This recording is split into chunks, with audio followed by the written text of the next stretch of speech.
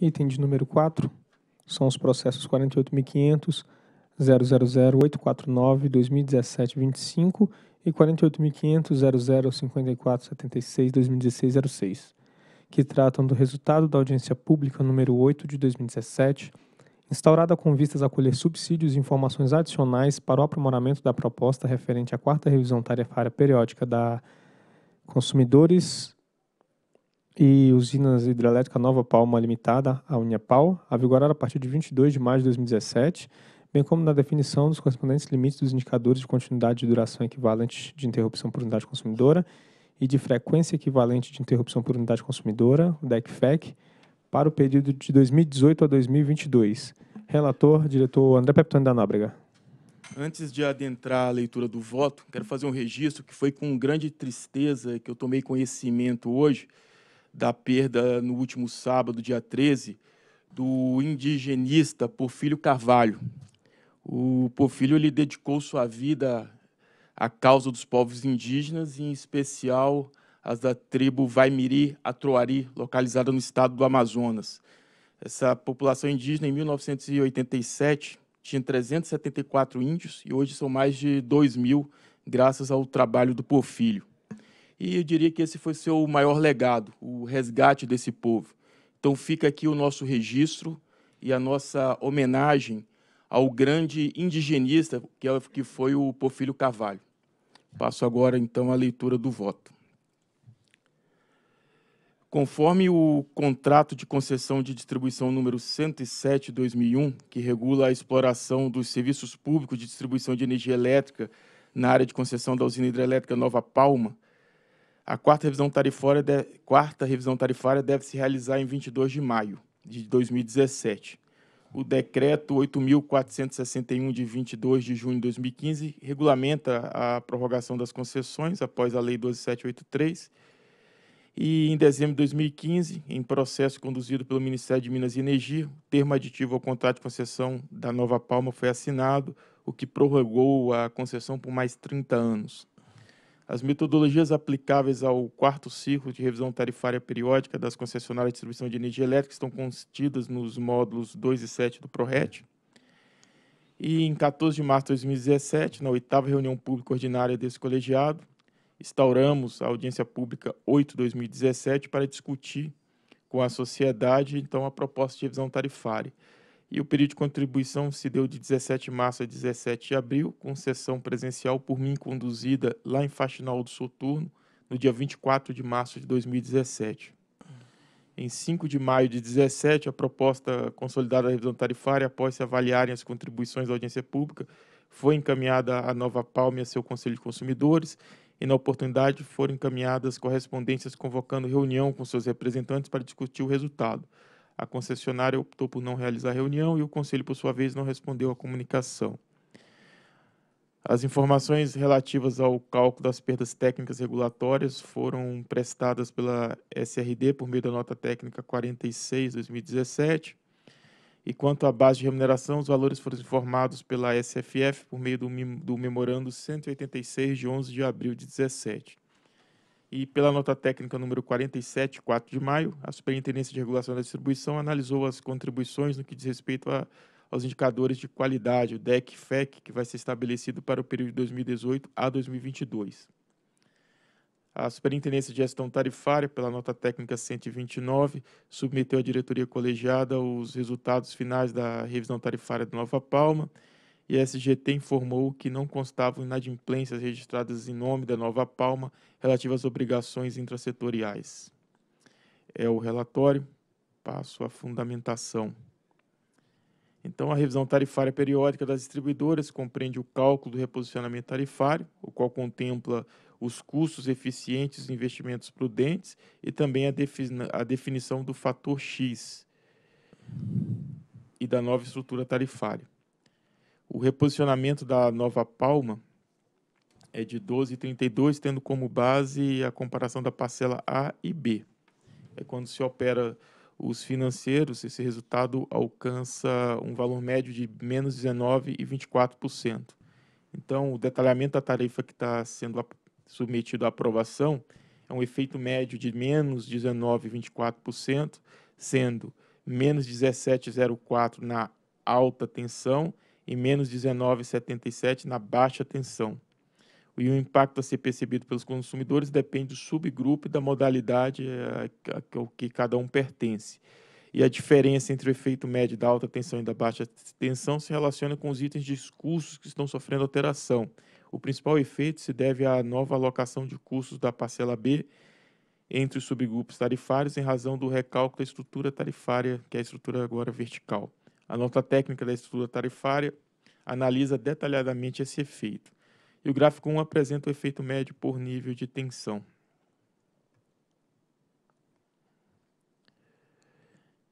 Ou melhor, o gráfico 1 apresenta o efeito médio para o consumidor por componente.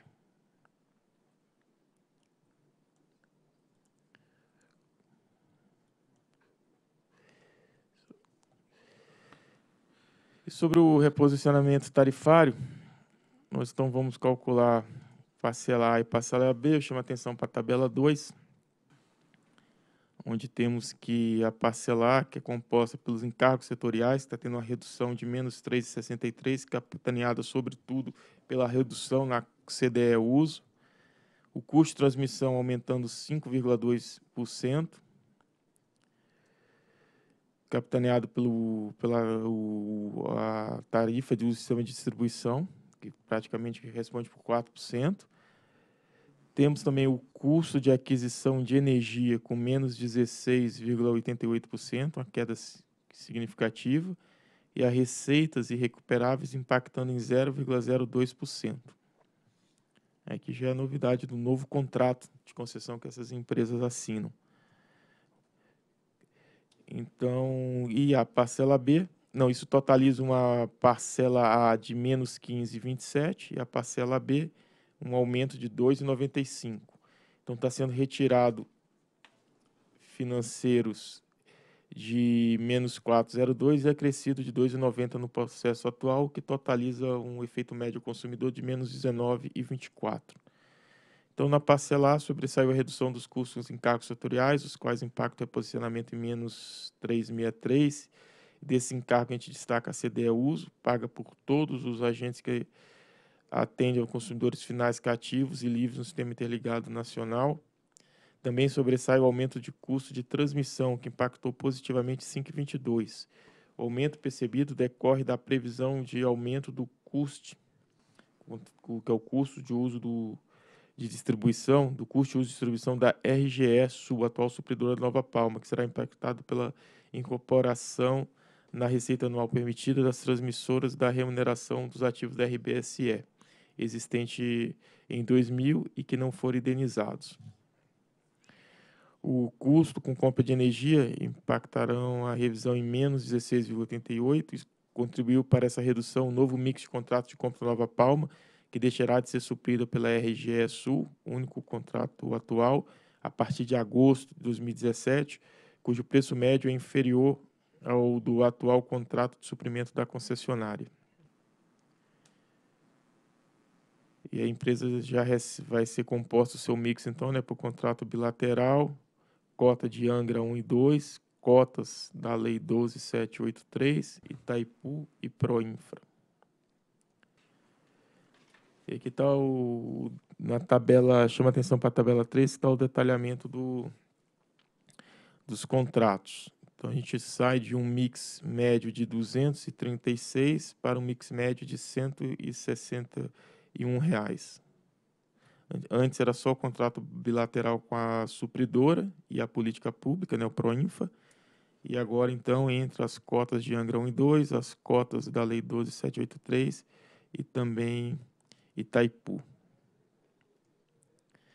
Quanto às receitas irrecuperáveis, houve a redução de 21,7% em relação aos valores hoje contidos nas tarifas, com um impacto de 0,02%.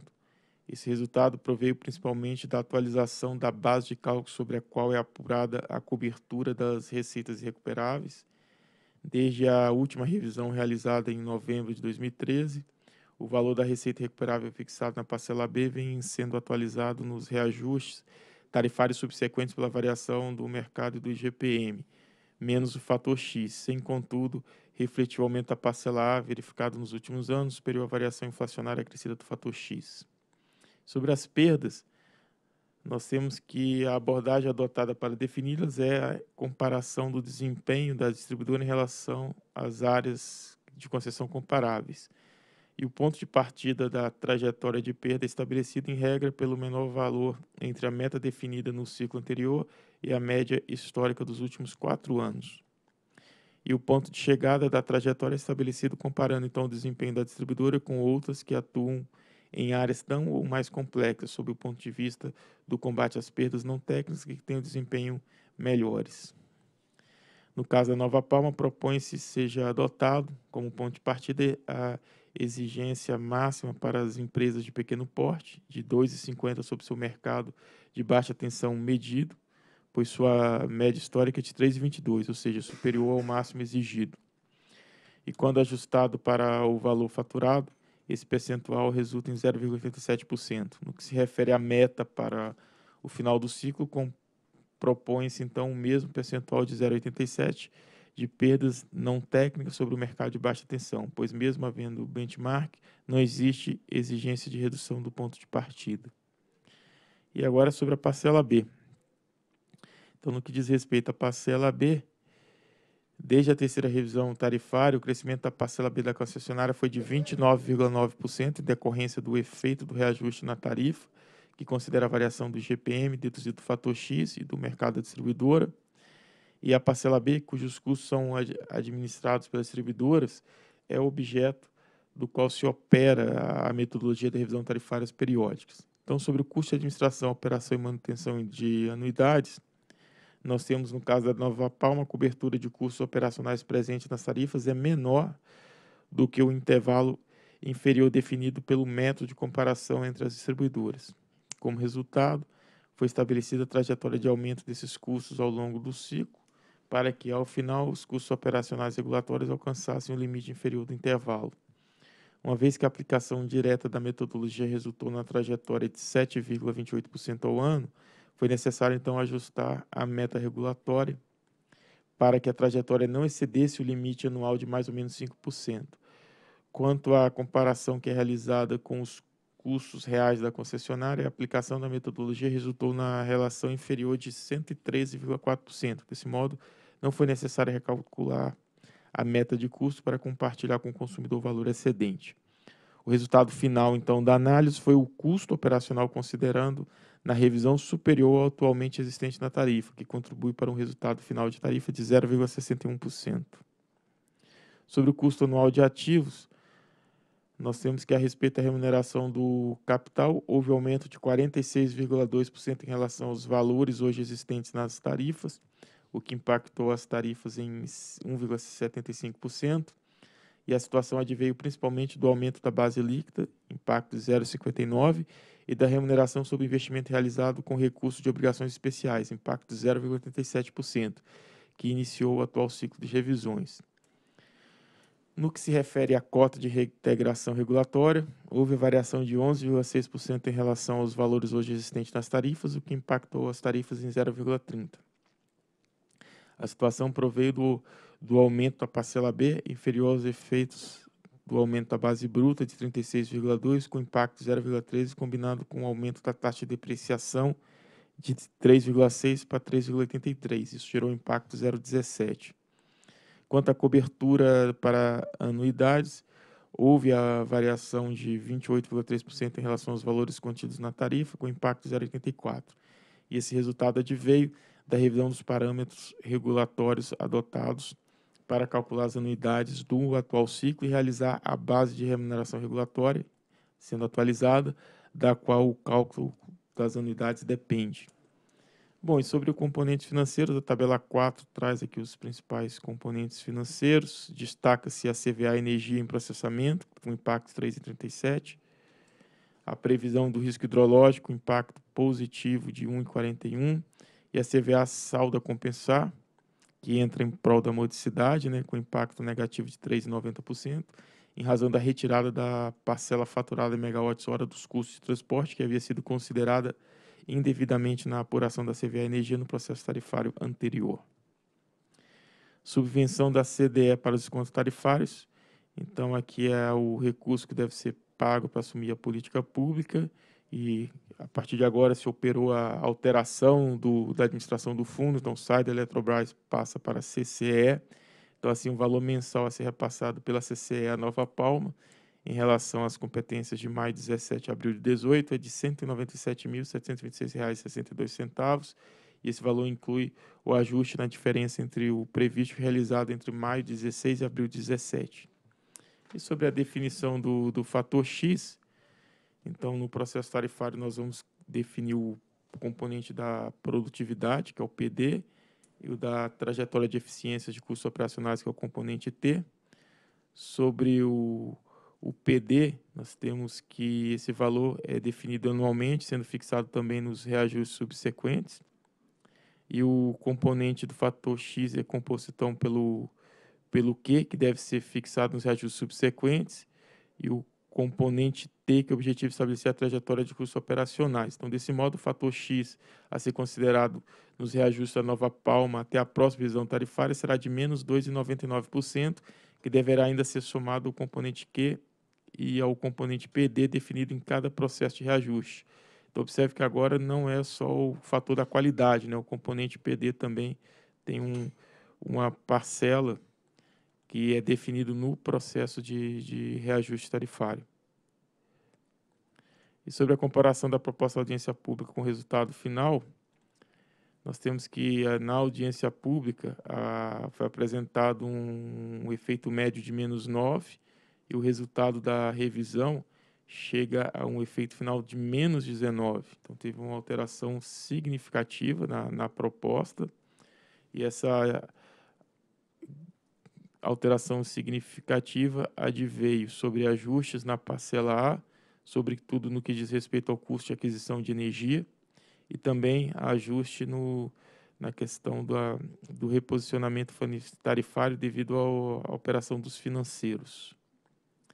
Então, o item mais representativo que levou à alteração dos valores submetidos à audiência pública refere-se à compra de energia, com variação de menos, de menos 11,7%, pois as cotas da lei 12783, cujo preço é quase quatro vezes inferior do atual tarifa da, da Nova Palma, e atinente à Nova Palma ainda não haviam sido calculadas pela ANEL à época da audiência pública. Então, essa que é, é, o que motiva a grande alteração do preço, é que na audiência pública não foi contabilizada as cotas, e agora passou a ser. Então, portanto, o, o montante, que equivale praticamente a 20% do mix, não foi contemplado, e um valor muito mais baixo. Como disse, chega a quatro vezes inferior né, ao que pagava-se a sua supridora. E, além disso, não havia sido finalizado, à época da audiência pública, o reajuste tarifário da RGE Sul, que define as tarifas de uso de distribuição. Então, usou-se valores estimados. E ressalta-se que a tarifa homologada para a RGE Sul refletem já a previsão de aumento para o ciclo 17 e 18 dos custos de rede básica, transporte Itaipu e também a questão da remuneração dos ativos da RBSE.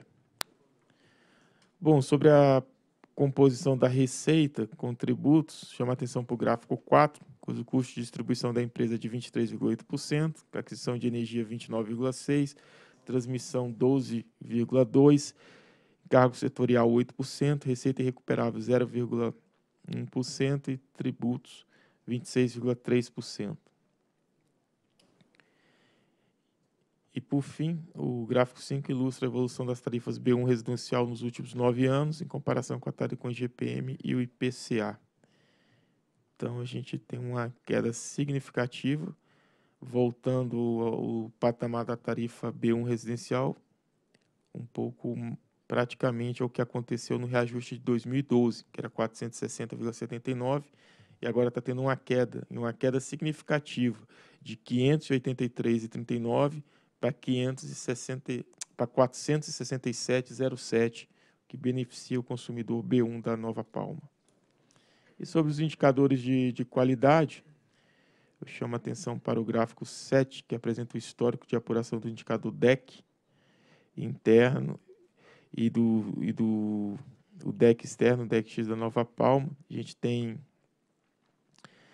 os valores apurados em coluna e o, a, met, da regulatória é, na, na linha, e aqui a gente observa que em 2016 o apurado transcendeu o regulatório. Agora, eu, na abertura da audiência pública, eu, fiz, eu solicitei que fizessem essa discretização para mostrar aos senhores que o azul mais clarinho é de responsabilidade da Nova Palma e o azul mais escuro é, não é de responsabilidade da Nova Palma. Então a gente observa que no ano de 16 da, do valor apurado, 8,66 horas foi de responsabilidade da Nova Palma e 9,37 horas de responsabilidade da, do suprimento para Nova Palma, ou seja, da, da linha que chega a Nova Palma. O que é um problema, eles têm um problema num, num transformador na região e que precisa ser ajustado, porque nesse caso a distribuidora é penalizada, é, é penalizada porque ela paga a indenização para o consumidor. Na indenização para o consumidor, a gente não, não olha quem deu causa. A, a distribuidora é abatida da distribuidora porque o consumidor está recebendo o efeito. Mas como vocês podem observar no ano de 2016, não é gestão da empresa. A empresa não pode fazer nada para que melhore seu item de qualidade. E isso é até um desestímulo para a equipe operacional da empresa, que se dedica, trabalha e, entretanto, a empresa continua sendo penalizada. Então, a gente tem que ver as iniciativas com a SRD para que se tome toda a, a providência para que seja feito esse ajuste nessa, nesse transformador, as melhorias que necessitam para que se resgate a qualidade que, de novo, não é dado causa pela Nova Palma. E nós temos também o histórico do FEC. E aqui, da mesma forma, eu solicitei que discretizasse, porque, excepcionalmente, diferente de, outros de outros casos que analisamos, a, o fator externo causa grande discrepância na apuração dos indicadores de qualidade da Nova Palma. Em 2006, 16 de novo, a gente observa sete interrupções, dado causa pela Nova Palma, e praticamente cinco do meio externo. E a empresa o, atende o limite regulatório, mas no limite, que é de 12 interrupções ao ano. Bom, e sobre o que nós estamos estabelecendo para o futuro, chama atenção ao gráfico 9. No gráfico 9, nós temos aqui o, apurado, o regulatório, e na linha laranja nós temos é, nós temos então primeiro a, a proposta da audiência pública que está em verde que seria de 15 horas de, de interrupção para o DEC. Aí recebemos em laranja uma contraproposta de 18 horas e o resultado que a equipe técnica da ANEL propõe para pós-audiência pública, que se submete à deliberação do colegiado, é a linha azul. Então, inicia em 17 horas e chega em 2021 em 15 horas, mantendo 15 horas em 2022. E para o DEC e para o FEC a, a mesma situação. Ou seja, em verde que foi proposto para audiência pública, 11 interrupções. A empresa fez uma contraproposta de 13 e o que está sendo proposto pós-audiência pública, que inicia em 13, passe por 12, em 2021, 11 interrupções, até chegar a alcançar 2022 com 10. E aqui a gente apresenta também no gráfico 11 como que está os limites de DEC da empresa em relação às empresas da região. Então, a gente observa que é um dos mais altos e tem essa razão de, dessa peculiaridade desse, dessa subestação, né, desse transformador que vem causando danos à, à qualidade da, da, empresa e que não é por gestão dela. Então, por isso, na região ela alcança um dos valores mais altos, tanto para o DEC como para o FEC. E, em função disso, houve uma, uma, um pagamento de compensação ao consumidor significativo.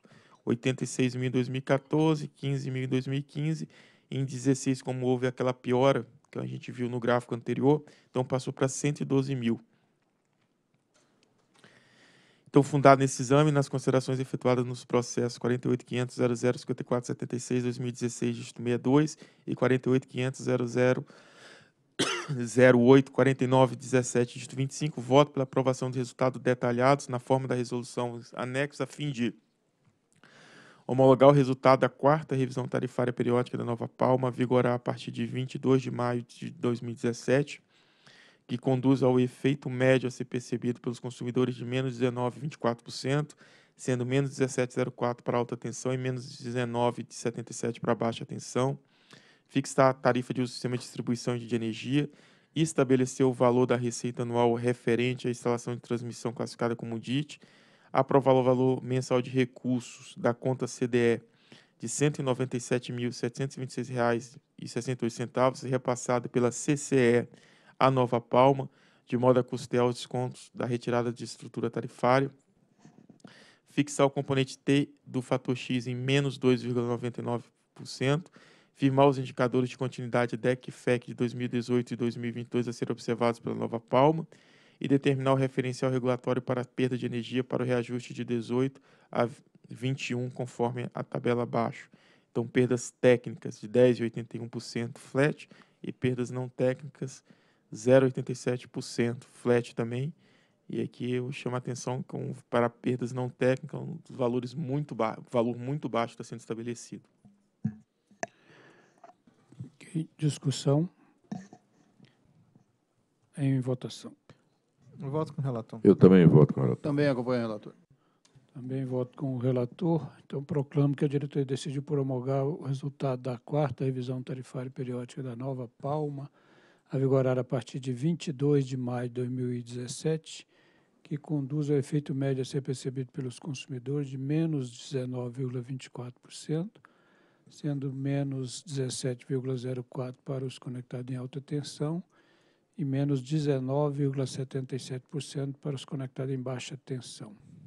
Fixar as tarifas de uso e de energia, estabelecer o valor da receita anual referente às instalações de transmissão classificado como DITs de uso exclusivo, aprovar o valor mensal dos recursos da CDE, valor de pouco mais de 197 mil reais, a ser repassado pela CCE a Nova Palma, de modo a custear o desconto retirado da estrutura tarifária, fixar o componente T do fator X em menos 2,99%, fixar os indicadores de continuidade DEC-FEC no período de 2018 a 2022 a serem observados pela Nova Palma, determinar o referencial regulatório para as perdas de energia, para os reajustes também de 2018 a 2021, conforme a tabela, qual seja a perda técnica de 10,81 nesse horizonte e as perdas não técnicas de 0,87%. Próximo item.